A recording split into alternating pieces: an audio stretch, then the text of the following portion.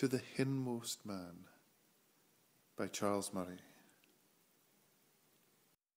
The mist creeps up round the hillside sheilans, the snow lies deep on the distant bens.